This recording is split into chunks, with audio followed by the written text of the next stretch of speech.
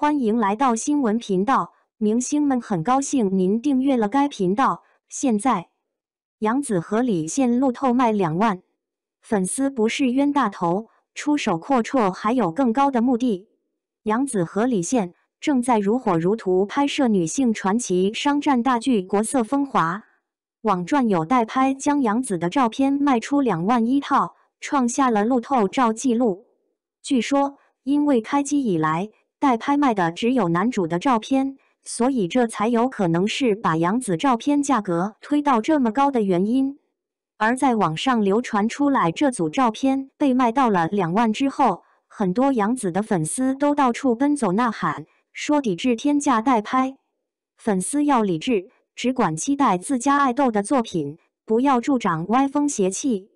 不过，平心而论。代拍不一定是把所有的明星都能卖到这么高的价格，钱被推到这么高，还是因为粉丝有需求。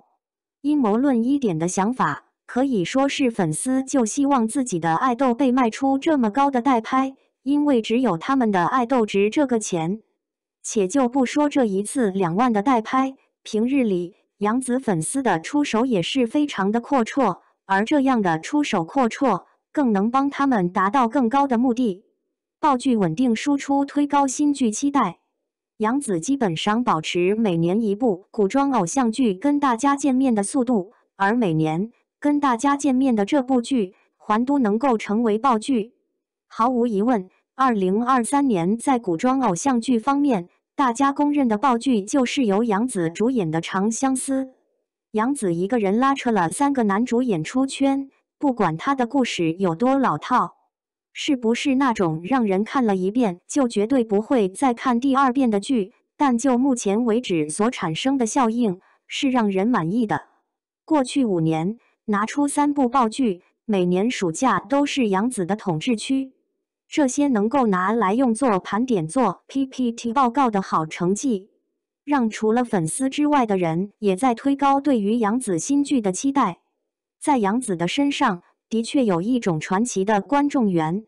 我们经常会嘲笑她在红毯上表现不尽如人意，但是却从来不会缺席她的任何一部剧。这部的新剧无疑是给了杨紫的粉丝又多了一个可以吹嘘的资本，因为她不单是偶像剧里面的大女主，更涉及到了复杂的经商角色，是个培育牡丹、经世济民。匡扶天下的奇女子，这样的角色自然会被粉丝和观众所期待。过去几年当了这么多年的爆剧小花，让人觉得很离奇的地方是，在二零二三年之前，她居然一个高奢资源、一个五大封面都没有过。越是没有什么，粉丝才越是看重什么，官宣了什么代言，有了什么样的商务资源。粉丝总是敲锣打鼓昭告天下，如此看重自己的商业价值，就更需要体现自己的商业价值。明星代言了一个品牌，就必须要为其代言的品牌负责，对这个品牌有着什么样的加成，才是这些商务想要签下这个艺人的原因。那么，很显然的是，当杨紫拥有了这些商务代言后，就要鼓动粉丝竭尽所能去买他所代言的产品。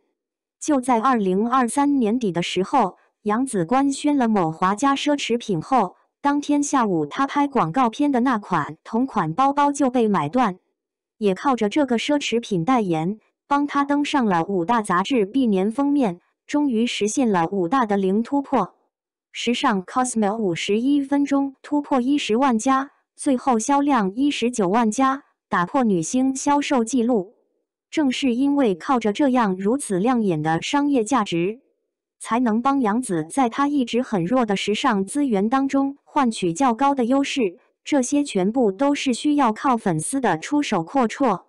顶流女星之争一刻不敢懈怠，把杨紫粉丝的事业心激起来到这个地步，很大程度上的原因不单单是粉丝本身好胜心。也不是杨紫真的去给粉丝洗脑，更多的时候是来自于外部的压力，也就是这么多年来跟他斗得不休不止的迪丽热巴。很多人都调侃他们两个人真不愧天选对家。迪丽热巴身上最值得大家称道的，就是在红毯和时尚资源的表现，与生俱来的星光和让人侧目的美貌，轻轻松松拥有杨紫努力了好久的东西。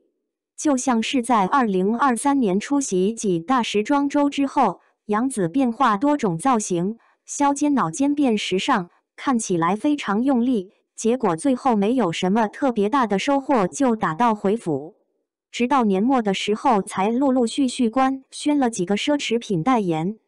迪丽热巴这边扑街的剧一部接一部，却还能够拿到帝家的内娱最高 title。二零二三年一年穿了二十二套高定的成绩，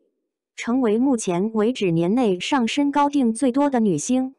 看着对面什么作品都没有，却还能拿到这些东西，粉丝当然是气倒吐血，只好赶紧加大筹码，迎头赶上。对此，小伙伴们有什么看法呢？欢迎在下方评论区留言，和大家一起分享讨论吧。